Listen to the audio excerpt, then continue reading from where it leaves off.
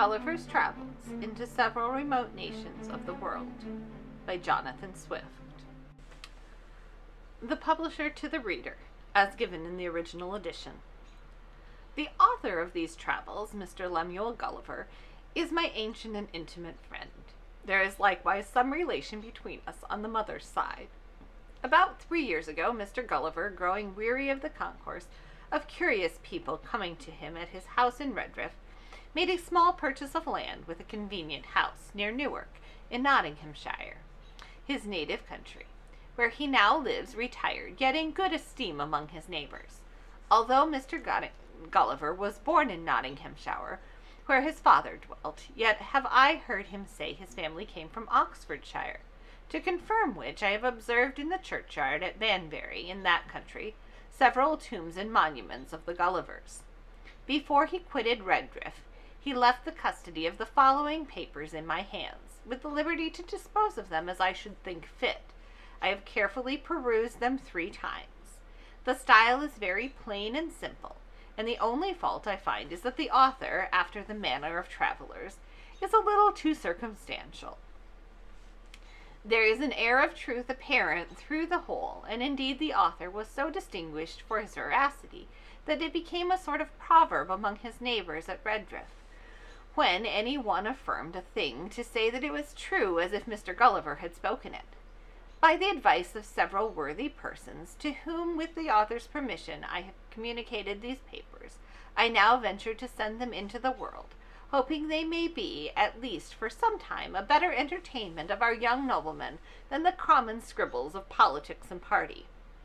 This volume would have been at least twice as large if I had not made bold to strike out innumerable passages relating to the winds and tides, as well as to the variations and bearings in the several voyages, together with the minute descriptions of the management of the ship in storms, in the style of sailors likewise the account of longitudes and latitudes, wherein I have reason to apprehend that Mr. Gulliver may be a little dissatisfied. But I was resolved to fit the work as much as possible to the general capacity of readers. However, if my own ignorance in sea affairs shall have led me to commit some mistakes, I alone am answerable for them. And if any other traveller hath a curiosity to see the whole work at large, as it came from the hands of the author, I will be ready to gratify him. As for any further particulars relating to the author, the reader will receive satisfaction from the first pages of the book. Richard Simpson. A letter from Captain Gulliver to his cousin Simpson. Written in the year 1727. I hope you will be ready to own publicly whether you shall be called to it that by your great and frequent urgency you prevailed on me to publish a very loose and uncorrect account of my travels, with directions to hire some young gentleman of either university to put them in order, and correct the style, as my dear cousin Dampier did, by my advice, in his book called A Voyage Around the World. But I do not remember I gave you power to consent that anything should be omitted, and much less that anything should be inserted Therefore, as to the latter, I do here renounce everything of that kind, particularly a paragraph about Her Majesty Queen Anne, of most pious and glorious memory, although I did reverence and esteem her more than any of the human species. But you, or your interpolator, ought to have considered that it was not my inclination so was it not decent to praise any animal of our composition before my master Houyhnhnm? And besides, the fact was altogether false. For to my knowledge, being in England during some part of her Majesty's reign, she did govern by a chief minister, nay, even by two successively, the first whereof was the Lord of Godolphin, and the second the Lord of Oxford, so that you have made me say the thing that was not. Likewise, in the account of the Academy of the Projectors, on several passages of my discourse to my master Houyhnhnm, you have either omitted some material circumstances, or minced and changed them in such a manner that I do hardly know my own work. When I formerly hinted to you something in this letter, you were pleased to answer that you were afraid of giving offense, that people in power were very watchful over the press, and apt not only to interpret but to punish everything that looked like an innuendo, as I think you call it. But pray, how could that which I spoke so many years ago, and in about five thousand leagues distance, in another reign, be applied to any of the Yahoos who are now said to govern the herd, especially at a time when I little thought or feared the unhappiness of living under them? Have not I the most reason to complain when I see these very Yahoos carried by Houyhnhnms in a vehicle, as if they were brutes, and those the rational creatures? And indeed, to avoid so monstrous and detestable a sight was one principal motive of my retirement hither. Thus much I thought proper to tell you in your relation to yourself, and to trust I reposed in you. I do, in the next place, complain of my own great want of judgment, in being prevailed upon by the entreaties and false reasoning of you and some others, very much against my own opinion, to suffer my travels to be published. Pray bring to your mind how often I desired you to consider when you insisted on the motive of the public good, that the Yahoos were a species of animals utterly incapable of amendment by precept or example. And so it has proved, for instead of seeing a full stop put to all abuses and corruptions, at least in this little island, I had reason to expect, behold, after above six months' warning, I cannot learn that my book has produced one single effect according to my intentions. I desired you would let me know by a letter when party and faction were extinguished, judges learned and upright, pleaders honest and modest, with some tincture of common sense, and Smithfield blazing with pyramids of law books. The young nobility's education entirely changed. The physicians banished, the female Yahoos abounding in virtue, honor and truth and good sense. Courts and levees of great ministers, thoroughly weeded and swept, wit, merit, and learning rewarded. All disgracers of the press in the prose and verse condemned to eat nothing but their own cotton, and quench their thirst for their own ink. These and thousand other reformations I firmly counted upon your, by your encouragement, as indeed they were plainly deductible from the precepts delivered in my book, and it must be owned that seven months were a sufficient time to correct every vice and folly to which Yahoos are subject, if their natures had been capable of the least disposition uh, to virtue or wisdom. Yet so far have you been from answering my expectation in any of your letters, that on the contrary you are loading your our carrier every week with libels and keys and reflections and memoirs and second parts, wherein I see myself accused of reflecting upon great state folk, of degrading human nature, for so they have still the confidence and style of it, and of abusing the female sex I find likewise that the writers of those bundles have not agreed among themselves, for some of them will not allow me to be the author of my own travels, and others make me author of books to which I am wholly a stranger. I find likewise that your printer has been so careless as to confound the times and mistake the dates of my several voyages and returns, neither assigning the true year, nor the true month, nor day of the month, and I hear the original manuscript is all destroyed since the publication of my book. Neither have I any copy left. However, I have sent you some corrections, which you may insert, if ever there should be a second edition. And yet I cannot stand to them, but shall leave that matter to my judicious and candid readers, to adjust it as they please. I hear some of our sea yahoos find fault with my sea language, as not proper in many parts, nor now in use. I cannot help it. In my first voyages, while I was young, I was instructed by the oldest mariners, and learned to speak as they did. But I have since found that the sea yahoos were apt, like the land ones, to become newfangled in their words, which the latter change every year, insomuch as I remember upon each return to my own country, their old dialect was so altered that I could hardly understand the new. And I observe when any Yahoo comes from London out of curiosity to visit me at my house, we neither of us are able to deliver our conceptions in a manner intelligible to the other. If the center of the Yahoos could any way affect me, I should have great reason to complain that some of them are so bold as to think my book of travels a mere fiction out of mine own brain, and have gone so far as to drop hints that the Houyhnhnms and Yahoos have no more existence than the inhabitants of Utopia. Indeed, I must confess that as to the people of Lilliput Brobdingrag, for so the word should have been spelt, and not erroneously Brobdingnag, and Laputa, I have never yet heard of any Yahoo so presumptuous as to dispute their being, or the facts I have related concerning them, because the truth immediately strikes every reader with conviction. And is there less probability in my account of the Houyhnhnms or the Yahoos? When it is manifest as to the latter, there are so many thousands, even in this country, who only differ from their brother brutes in Houyhnhnmland because they use a sort of jabber and do not go naked. I wrote for their amendment, and not for their approbation. The united praise of the whole race could be of less consequence to me than the neighing of two degenerate Houyhnhnms.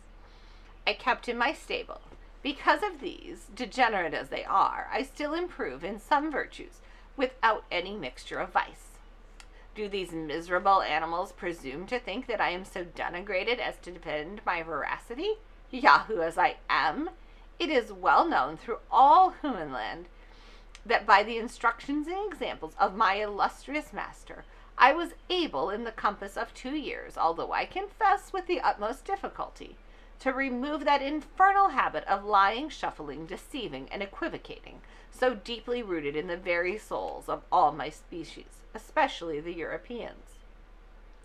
I have other complaints to make upon this vexatious occasion, but I forbear troubling myself or you any further. I must freely convince, confess that since my last return, some corruptions of my Yahoo nature have been revived in me by conversing with a few of your species and particularly those of my own family, by an unavoidable necessity. However, I should have never attempted so absurd a project as that of reforming the Yahoo race in this kingdom, but I have now done with all visionary schemes forever. April 2nd, 1727. Part 1 A Journey to Lilliput. Chapter 1 The author gives some account of himself and family, his first inducements to travel. He is shipwrecked and swims for his life, gets safe on shore in the country of Lilliput, is made a prisoner, and carried up the country. My father had a small estate in Nottinghamshire. I was the third of five sons. He sent me to Emmanuel College in Cambridge at fourteen years old, where I resided three years and applied myself close to my studies. But the charge of maintaining me, although I had a very scanty allowance, being too great for a narrow fortune, I was bound apprentice to Mr. James Bates, an eminent surgeon in London, with whom I continued four years, my father now and then sending me small sums of money. I laid them out in learning navigation and other parts of the mathematics useful to those who intend to travel, as I always believed it would be some time or other my fortune to do. When I left Mr. Bates, I went down to my father, where, by the assistance of him and my uncle John, and some other relations, I got forty pounds, and a promise of thirty pounds a year to maintain me at Leyden. There I studied physic two years and seven months, knowing it would be useful in long voyages. Soon after my return from Leyden, I was recommended by my good master, Mr. Bates, to be surgeon to the Swallow captain, Abraham Pannell, commander, with whom I continued three years and a half, making a voyage or two into the Levant and some other parts. When I came back, I resolved to settle in London, to which Mr. Bates, my master, encouraged me, and by him I was recommended to several patients. I took part of a small house in the Old Jewry, and being advised to alter my condition, I married Miss Mary Burton, second daughter to Mr. Edmund Burton Hosier, in Newgate Street, with whom I received four hundred pounds for a portion. but my good master Bates dying in two years after, and I having few friends, my business began to fail, for my conscience would not suffer me to imitate the bad practice of too many among my brethren. Having therefore consulted with my wife and some of my acquaintance, I determined to go to sea again.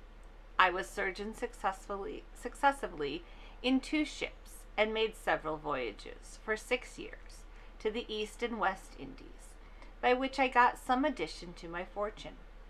My hours of leisure I spent in reading the best authors, ancient and modern, being always provided with a good number of books, and when I was ashore, in observing the manners and dispositions of the people, as well as learning their language, wherein I had a great facility, by strength of my memory. The last of these voyages not proving very fortunate, I grew weary of the sea, and intended to stay at home with my wife and family. I removed from the Old Jewry to Fetter Lane, and from thence to Wapping, hoping to get business among the sailors, but it would not turn to account. After three years' expectation that things would mend, I accepted an advantageous offer from Captain William Prichard, master of the Antelope, who was making a voyage to the South Sea. We set sail from Bristol, May 4th, 1699, and our voyage was at first very prosperous. It would not be proper, for some reasons, to trouble the reader with the particulars of our adventures in those seas. Let it suffice to inform him that in our passage from thence to the East Indies we were driven by a violent storm to the northwest of Van Diemen's Land. By an observation we found ourselves in the latitude of 30 degrees 2 minutes south. Twelve of our crew were dead by immoderate labor or ill food, and the rest were in a very weak condition.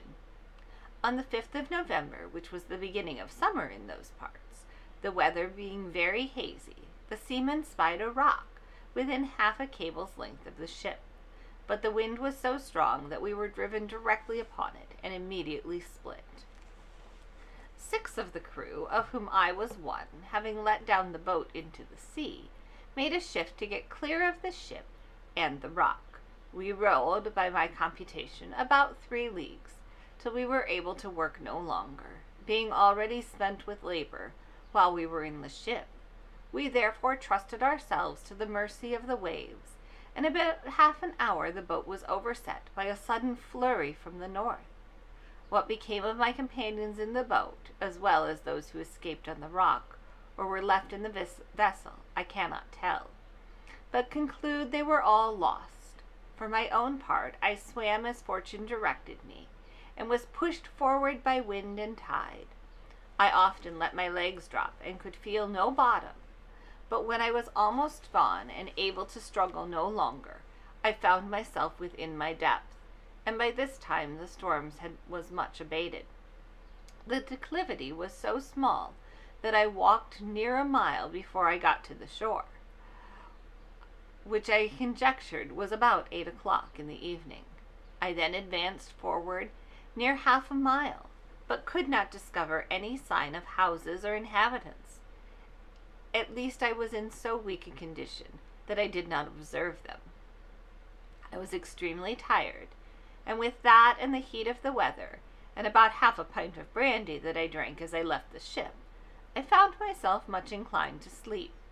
I lay down on the grass, which was very short and soft, where I slept sounder than ever I remembered to have done in the, my life, and as I reckoned, about nine hours, for when I awaked it was just daylight. I attempted to rise, but was not able to stir, for as I happened to lie on my back, I found my arms and legs were strongly fastened on each side to the ground and my hair, which was long and thick, tied down in the same manner. I likewise felt several slender ligatures across my body, from my armpits to my thighs. I could only look upwards. The sun began to grow hot, and the light offended my eyes. I heard a confused noise about me, but in the posture I lay could see nothing except the sky. In a little time I felt something alive moving on my left leg which advancing gently forward over my breast, came almost up to my chin, when bending my eyes downward as much as I could, I perceived it to be a human creature, not six inches high, with a bow and arrow in his hands and a quiver on his back. In the meantime, I felt at least forty more of the same kind, as I conjectured, following the first. I was in the utmost astonishment, and roared so loud that they all ran back in a fright, and some of them, as I was afterwards told, got hurt in the falls they got by leaping from my sides upon the ground. However, they soon returned, and one of them, who ventured so far as to get a full sight of my face, lifting up his hands and eyes by way of admiration, cried out in a shrill but distinct voice, Hekinah degul! The others repeated the same words several times, but then I knew not what they meant. I lay all this while, as the reader may believe, in great uneasiness. At length, struggling to get loose, I had the fortune to break the strings and wrench out the pegs that fastened my left arm to the ground, for by lifting it up to my face I discovered the methods they had taken to bind me, and at the same time with a violent pull, which gave me excessive pain, I a little loosened the strings that tied down my hair on the left side, so that I was able to turn my head about two inches. But the creatures ran off a second time, before I could seize them. Whereupon there was a great shout in a very shrill accent, and after it ceased I heard one of them cry aloud, Tolgo phonac! When in an instant I felt above a hundred arrows discharged on my left hand, which pricked me like so many needles and besides they shot another flight into the air, as we do bombs in Europe, whereof many, I suppose, fell on my body, though I felt them not, and some on my face, which I immediately covered with my left hand. When this shower of arrows was over, I felt a groaning with grief and pain, and then striving again to get loose, they discharged another volley larger than the first and some of them attempted with spears to stick me in the sides. But by good luck I had on a buff jerkin, which they could not pierce. I thought it the most prudent method to lie still, and my design was to continue so till night, when my left hand being already loose, I could easily free myself. As for the inhabitants, I had reason to believe I might be a match for the greatest army they could bring against me if they were all of the same size with him that I saw. But fortune disposed me otherwise of me. When the people observed I was quiet, they discharged no more arrows. But, by the noise I heard, I knew their numbers increased, and about four yards from me, over against my right ear, I heard a knocking for above an hour, like that of people at work. When turning my head that way, as well as the pegs and strings would permit me, I saw a stage erected about a foot and a half from the ground, capable of holding four of the inhabitants, with two or three ladders to mount it, from whence one of them, who seemed to be a person of quality, made me a long speech, whereof I understood not one syllable. But I should have mentioned, but that before the principal person began his oration, he cried out three words Langro dehul san. These words and the former were afterwards repeated and explained to me. Whereupon immediately about fifty of the inhabitants came and cut the strings that fastened the left side of my head, which gave me the liberty of turning to the right, and of observing the person and gesture of him that was to speak. He appeared to be of a middle age, and taller than any of the other three who attended him whereof one was a page that held up his train, and seemed to be somewhat longer than my middle finger. The other two stood one on each side to support him.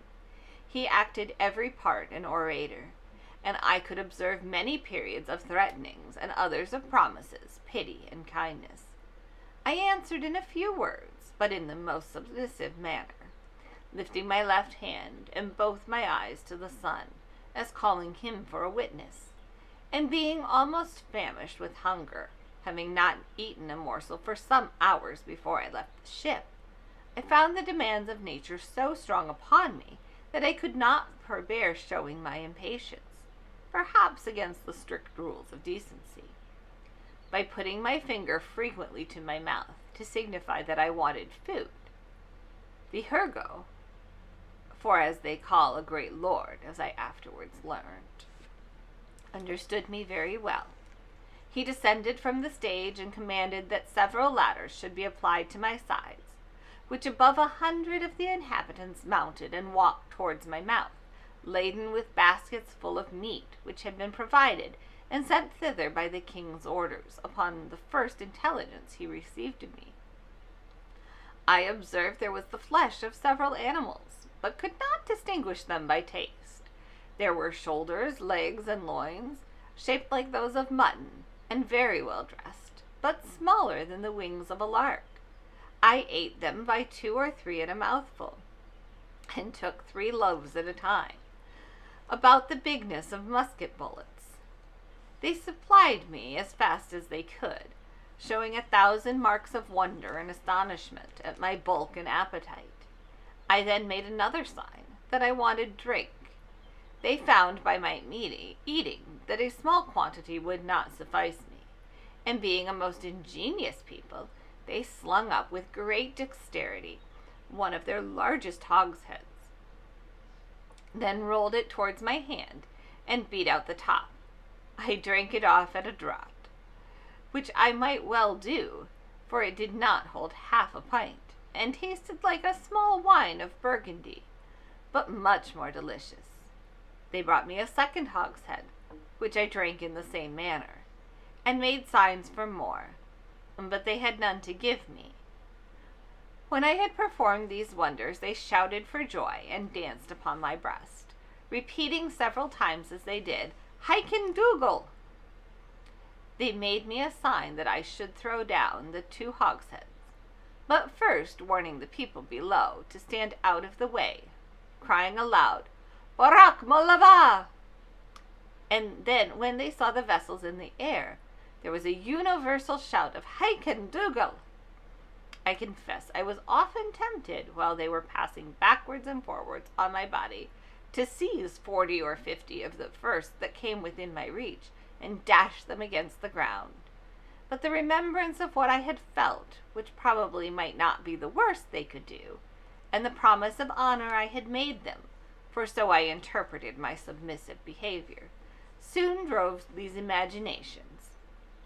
Besides, I now considered myself as bound by the laws of hospitality to a people who had treated me with much expense and magnificence. However, in my thoughts, I could not sufficiently wonder at the intrepidity of these diminutive mortals, who durst venture to mount and walk upon my body, while one of my hands was at liberty, without trembling at the very sight of so prodigious a creature as I must appear to them. After some time, when they observed that I made no more demands for meat, there appeared before me a person of high rank, from his imperial majesty. His excellency, having mounted on the small of my right leg, advanced forwards up to my face, with about a dozen of his retinue, and producing his credentials under the signet royal, which he applied close to my eyes, spoke about ten minutes, without any signs of anger, but with a kind of determinate resolution, often pointing forwards, which, as I afterwards found, was towards the capital city, about half a mile distance, whither it was agreed by his majesty in council that I must be conveyed. I answered in few words, but to no purpose, and made a sign with my hand that was loose, putting it to the other, but over his excellency's head, for fear of hurting him or his train, and then to my own head and body to signify that I desired my liberty, it appeared that he understood me well enough, for he shook his head by way of disapprobation, and held his hand in a posture to show that I must be carried as a prisoner.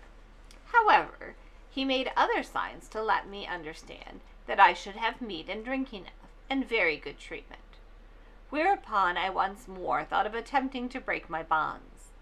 But again, when I felt the smart of their arrows upon my face and hands, which were all in blisters, and many of the darts still sticking in them, and observing likewise that the number of my enemies increased, I gave tokens to let them know that they might do with me what they pleased. Upon this the Hurgo and his train withdrew, with much civility and cheerful countenances. Soon after I heard a general shout, with frequent repetitions, of the word Peplom, Selan, and I felt great numbers of people on my left side relaxing the cords to such a degree that I was able to turn upon my right, and to ease myself with making water, which I very plentifully did, to the great astonishment of the people, who conjecturing by my motion what I was going to do, immediately opened to the right and left on that side, to avoid the torrent, which fell with such noise and violence from me.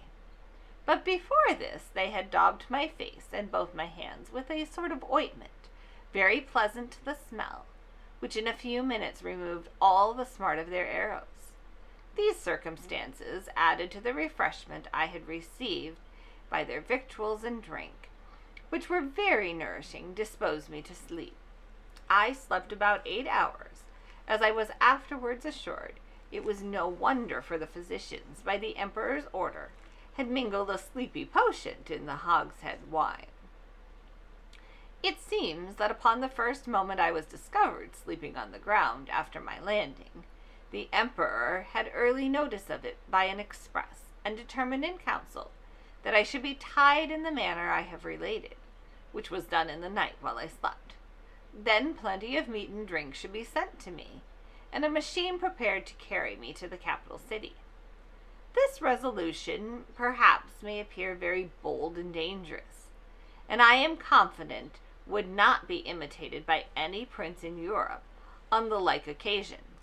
However, in my opinion, it was extremely prudent, as well as generous. For supposing these people had endeavored to kill me with their spears and arrows while I was asleep, I should certainly have awaked with the first sense of smart which might so far have roused my rage and strength as to enable me to break the strings wherewith I was tied, after which, as they were not able to make resistance, so they could expect no mercy. These people are most excellent mathematicians, and arrived to a great perfection in mechanics, by the countenance and encouragement of the emperor, who is a renowned patron of learning. This prince has several machines fixed on wheels for the carriage of trees and other great weights.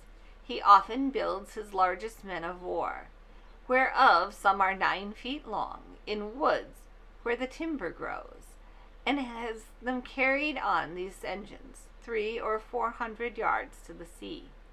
Five hundred carpenters and engineers were immediately set at work to prepare the greatest engine they had.